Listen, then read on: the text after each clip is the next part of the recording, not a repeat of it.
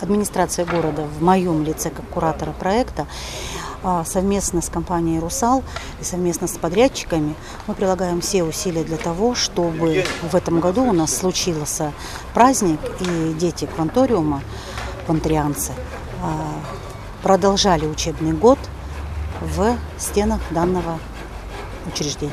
Работа на участке ведется, собственно говоря, практически круглосуточно, без выходных. Контроль снижать не будете?